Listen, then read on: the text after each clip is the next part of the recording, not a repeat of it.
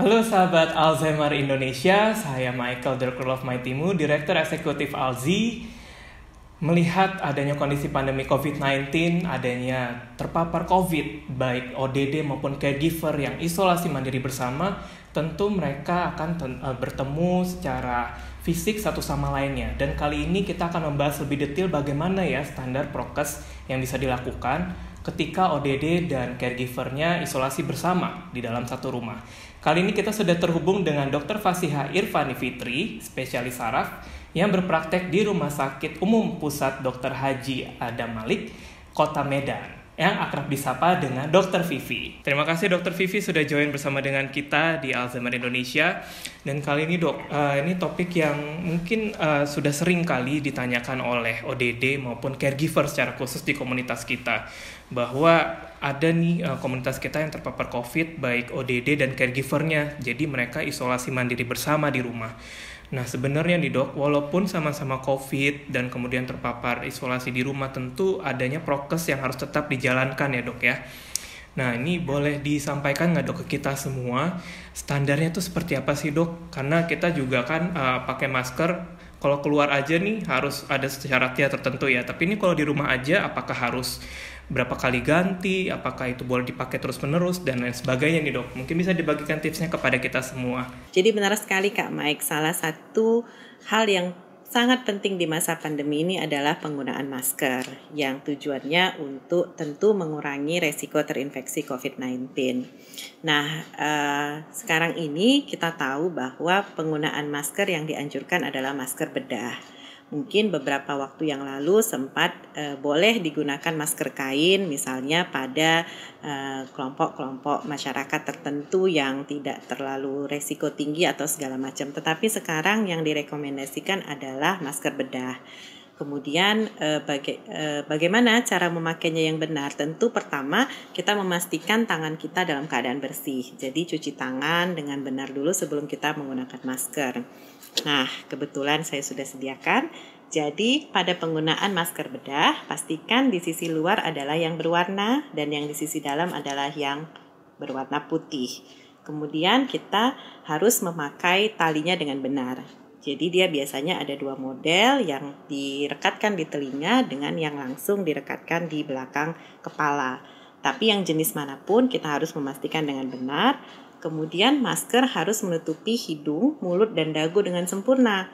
Jadi berulang sekali diingatkan juga bahwa masker harus menutupi hidung, mulut, dan dagu. Sering sekali kita melihat penggunaan masker seperti ini, hanya menutupi mulut. Itu tidak benar ya.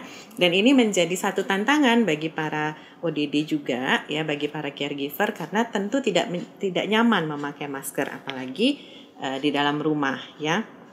Kemudian uh, masker bedah ini ada bagian yang lunak dan ada bagian yang sedikit keras karena mengandung logam. Jadi bagian yang mengandung logam ini uh, posisinya berada di hidung. Jadi harus dilekukkan. Jadi lekukkan strip logam ini mengikuti lekukan hidung sehingga tidak ada menyisakan lubang gitu. Nah, kira-kira seperti ini menutupi uh, mulut, hidung dan dagu. Setelah kita e, menggunakan masker, kita tentu harus menghindari menyentuh bagian tengah masker saat menggunakan ataupun melepasnya. Jadi selesai digunakan, e, masker dilepaskan, kemudian dibuang ke tempat sampah dan cuci lagi tangan kita kembali. Nah, e, idealnya masker itu harus diganti minimal setelah 4 jam pemakaian. Jadi kalau kita sudah memakai 4 jam itu harus diganti atau kalau maskernya sudah basah atau kotor misalnya karena e, sekarang cuaca panas sudah berkeringat itu harus diganti. Nah, e, apakah e, uh, di rumah harus selalu memakai masker walaupun uh, sama-sama sedang menjalani isolasi. Nah, idealnya juga iya gitu. Terutama saat kita melakukan aktivitas dalam jarak dekat bersama-sama. Mungkin misalnya saat kita sedang berada di ruang pribadi sendiri, maskernya boleh sesekali dilepas. Begitu juga saat sedang makan ya, pastikan harus melepas masker. Itu juga diusahakan menjaga jarak walaupun uh, dalam satu keluarga. Kemudian ventilasi di rumah dipastikan baik ya jika ada jendela harus selalu dibuka agar ada pergantian udara. Uh, dan dan protokol dan menjalani protokol kesehatan yang lain-lain seperti yang paling penting mencuci tangan uh, dengan sabun atau jika tidak ada dengan menggunakan hand sanitizer. Mungkin demikian Kak Mike. Terima kasih banyak Dokter Vivi. Satu lagi nih dok, karena kalau misalnya kita isolasi mandiri satu rumah ya, itu kan tentu jaga jarak itu jadi agak sulit ya dok ya. Sebetulnya ada nggak sih dok, ada pengecualian atau ada jaga jarak ideal nggak ketika kita sama-sama sebagai uh, yang terpapar COVID-19 nih dok? Apalagi kita selalu berhadapan ya uh, caregiver dengan ODD-nya nih dok. Benar sekali, ini juga menjadi tantangan karena uh, kalau sudah dalam, berada dalam satu rumah, uh, tidak mungkin kita mengikuti jarak ideal seperti panduan secara umum misalnya uh, minimal 2 meter atau 3 meter. Jadi itu tadi yang kita sampaikan misalnya pun harus beraktivitas dengan jarak dekat bersama-sama tetap menggunakan masker. Begitu Kak Mike. Walaupun uh, karena sederhananya kita tidak tahu apakah yang sedang bersama-sama menjalani isolasi mandiri ini memang saling dalam tanda kutip saling menularkan atau mendapatkan strain atau varian virus yang sama atau segala macam. Jadi lebih baik kita tetap menjalankan protokol kesehatan dengan ketat.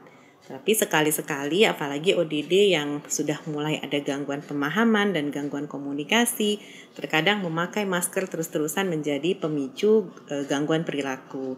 Ini tentu kita e, caregiver harus ekstra sabar dalam menjelaskan dan kalaupun mau membuka sesekali yang tadi pastikan ventilasi udara juga dalam keadaan baik dan tidak terlalu banyak orang yang di sekitarnya. Mungkin itu Kak Mike. Luar biasa nih dok, kali ini tips yang menarik nih dok ya. Uh, ketika kita menggunakan masker yang baik dan benar seperti apa karena masih suka ditemukan hanya di hidung saja sama mulut tapi dagunya enggak dan ada yang juga di dagu saja gitu ya yang tadi juga uh, tips yang kedua tuh yang saya suka adalah ventilasi itu sangat penting ya untuk sirkulasi udara di rumah Baik sahabat Alzi, tadi adalah tips dan trik dari Dr. Vivi bagaimana menggunakan standar protokol kesehatan dengan pemakaian masker medis dan bagaimana cara peletakan yang benar dan kemudian mencuci tangan. Terkait dengan jaga jarak, tentu kita perlu melakukan jaga jarak dengan situasi tertentu di rumah supaya adanya kenyamanan untuk ODD dan juga caregiver selama beraktivitas di rumah menggunakan protokol kesehatan yang baik dan benar. Semoga informasi kali ini bermanfaat untuk kita semua. Salam sehat dan jangan maklum dengan pikun.